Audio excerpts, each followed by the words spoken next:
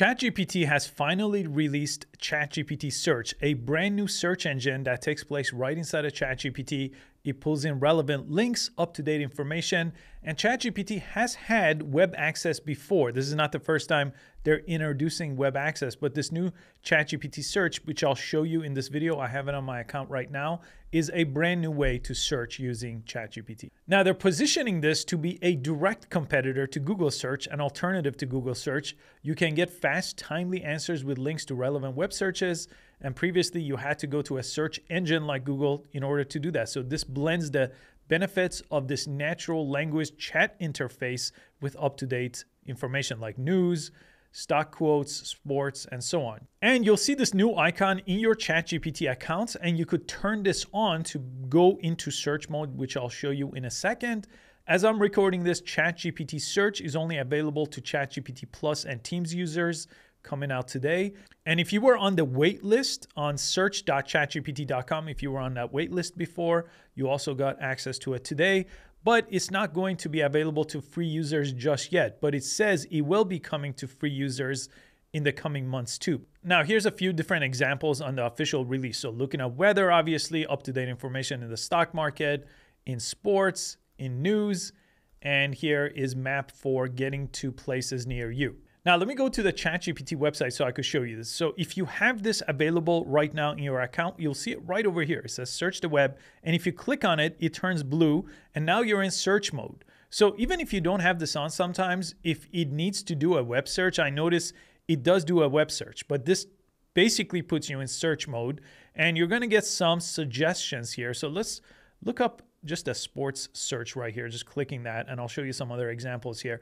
But the way it does it is it's going to give you an answer in the same format that ChatGPT always replies to you. Instead of giving you links, it gives you an answer. It's pulled some pictures, but you'll see these references right here underneath each section of the answer, and it pulls it from different sources. So it's really nice. Right now, it's pulled from multiple sources, which if I click sources, I could see all of them over here. And if I click on one, it opens a new tab on my browser here, and I could go read more about that but it does give me a nice summary of what it pulled from that website directly here in search. Okay, since I'm recording this on Halloween, I'm gonna say what is the trick or treating hours here in Chicago? I have this on. Let's see what we get here. Searching the web. Okay, it's pulling some links in Chicago, no official hours, but it's usually from 5 to 8. However, in some neighborhoods, this may vary. And then again, here's all the different sources it pulled that information from, and it puts that little link right over here. Okay, let's see how up to date this information is. They just released search within the last hour. So I'm gonna ask, what's the latest update with ChatGPT? OpenAI has recently introduced several new updates. Real-time web search integration ChatGPT now includes real-time web search capabilities. And this is directly from The Verge from today. So really nice recap of it from The Verge. And if we click that link, okay, perfect. It took us right to the Verge website on a new tab. Now, let me see if I could do a follow up. Tell me more about the search option in ChatGPT. Okay, again, up to date information, but it dove a little bit deeper into ChatGPT search. Available today. That's again from The Verge. It's pulled in things from Financial Time.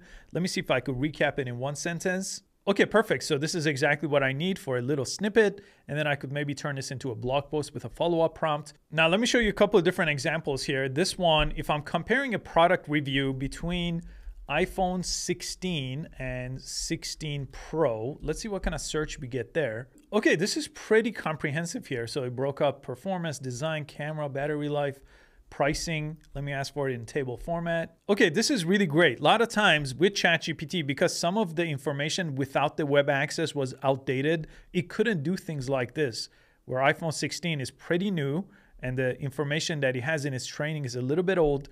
And if it didn't do web searches, it wouldn't give me results that I could use like this. And again, I could go through these sources to even pull in more details if I want to. Let's do a couple more examples. Let's check for stock price. Oh, this is really nice. It gave us a nice chart here, and I could even go to six months year to date. Yeah, very useful way to pull up stocks. So works just like Google search. Let's try this one. Find me the best coffee shop in Chicago. Let's see if it pulls in a map for us this time. Oh, perfect. Look at this. I got a whole map over here. We could Switch to list view. I could look around the map. Let me see if I could kind of zoom in. Okay, it's doing a quick update here. Website call direction. Yeah, that's really nice. Okay, let me try this one. Find someone to fix my garage door. And I'm not going to give it my location. Let me see if it knows where I'm at. Okay, so it worked. It gave me some things in Chicago, but I'm actually in the suburbs here. So it doesn't know my exact location. So I guess I need to give it my zip code here to pull in something from my exact location, but it did know that I'm in Chicago. I'm assuming it knows that from my custom instructions, but it doesn't have location services like Google search has. Now let's see if we get a deal here. So a lot of times we're searching for deals. This time I'll do a travel to LA, Southwest deal. Let's see if we could pull that in. Southwest offers a flight from Chicago to LA. The fare starts at 110 one-way trip, departing December 9. What about a deal for tomorrow? Okay, and I asked for a deal for tomorrow. It says either search for low fare calendar on the Southwest website or go to Google Flights.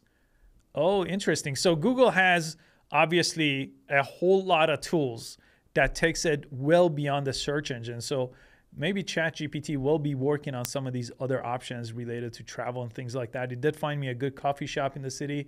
Now, let me just show you how far ChatGPT has to go to even compete with Google in search. Right now, ChatGPT is getting 3.1 billion visits a month. Okay, that's pretty significant amount of visits, and you could see it's tracking up here. Let's test this out with Google here, and Google is getting 82 billion visits per month. Obviously, this is the number one website in all of the internet, and YouTube is the second and is also a search engine. And I think that's about 26 billion views a month, but 82 billion views compared to 3 billion views. Obviously, Google's been around for you know over 20 years. ChatGPT is you know a little over two years old right now. I also use Perplexity a lot, which works a lot like the Search GPT function and I'll include a video to show you how that works because Perplexity is another alternative to both ChatGPT search and Google. So you might find that useful as well. And that has other functions that the search GPT doesn't have just yet. So I'll link a video about that here. Thanks so much for watching. I'll see you next time.